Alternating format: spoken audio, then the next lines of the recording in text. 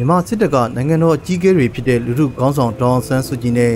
နိုင်ငံတော်သမ္မတဦးဝင်းမြင့်အပါအဝင်ပါတီထိပ်တန်းခေါင်းဆောင်တွေလှုပ်ရှားတက်ကြွသူတွေကိုဖမ်းဆီးပြီးအာဏာသိမ်းယူခဲ့တဲ့တတိယမြောက်နေ့မှာတော့နေပြည်တော်နဲ့ရန်ကုန်မြို့အပါအဝင်မြန်မာတိုင်းနိုင်ငံလုံးမှာတိတိတသားကြီးတိတ်ဆိတ်လျှောက်ကပ်နေပါတယ်။လွတ်တော်အစည်းအဝေးတက်ဖို့နေပြည်တော်ကစီပင်ရိပ်သာထဲမှာ2020ရွေးကောက်ပွဲရလဒ်အရအနိုင်ရထားတဲ့ပါတီအမတ်တွေကိုကိုယ့်အိမ်ကိုပြန်နိုင်ပြီလို့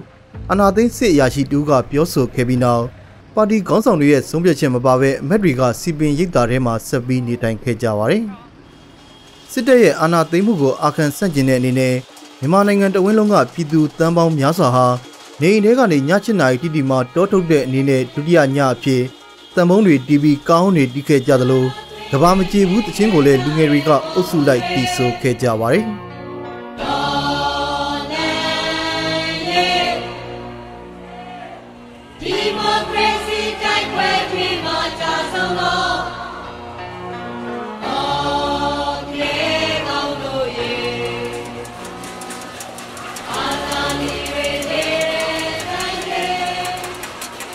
ဒီလောက်ရဟာစော်ကားတာပဲ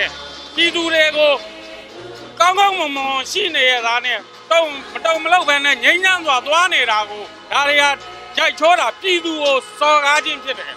အဲ့ဒီအတွက်ကျွန်တော်တို့ပြည်သူကလည်းကျွန်တော်အနေနဲ့ကျွန်တော်တယောက်တဦးတယောက်အနေနဲ့ဒီစစ်အာဏာရှင်ကိုမပြောက်ပြောက်အောင်လုပ်အောင်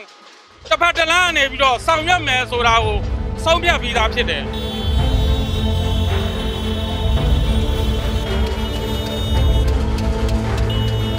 ညချင်နာရီထိုးတာနဲ့တပြိုင်နက်မြန်မာတိုင်းနိုင်ငံလုံးကပြည်သူတွေဟာအတန်မြစီတဲ့တန်ဖုံးတန်ခွက်တွေကိုဒုတ်တွေနဲ့နာယူဝဲကြော်ကြဘွက်ညံအောင်တီးခဲ့ကြပါတယ်